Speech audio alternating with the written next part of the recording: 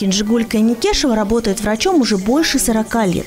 Изначально начинала она как педиатр, но 20 лет назад решила взяться за новое для себя направление – УЗИ-диагностику.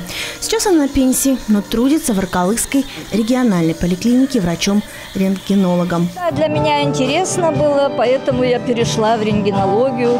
Хотела поработать врачом-рентгенологом. Детским рентгенологом начала, сейчас общий. Что самое сложное, как вы считаете, в вашей работе?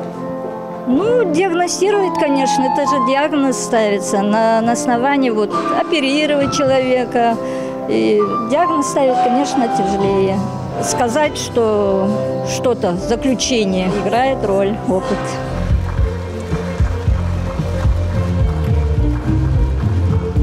Скромно получают медицинские работники свои награды. Очень скромно. Кинжиголька и Никешева в числе тех, кого пригласили на торжественную встречу с Акимом Кустанайской области по случаю Дня медицинского работника. Почти 50 человек были награждены медалями, нагрудными знаками, грамотами и благодарственными письмами. Как отметил глава области, в последние годы в развитие отрасли здравоохранения региона вложено немало денег. К примеру, в прошлом году было приобретено медицинского оборудования на 1,9 миллиардов тенге. В этом выделено еще 2,2 миллиардов тенге. Но самое важное, подчеркивает Архимед Мухамбетов, в регионе решается проблема дефицита кадров. На сегодняшний день для привлечения в сельскую местность 90 врачей из, из средств областного бюджета выделено 135 миллионов тенге на выплату подъемных пособий каждому по полтора миллиона тенге.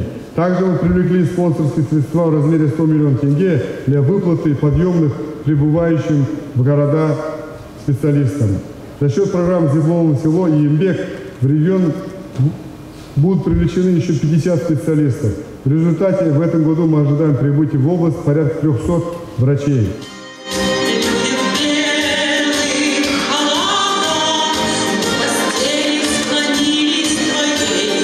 Помимо вручения премий и наград, на сцене областной филармонии хореографические и вокальные коллективы представили праздничный концерт. Диана Хмечин и Татьяна Калюжная, РТН.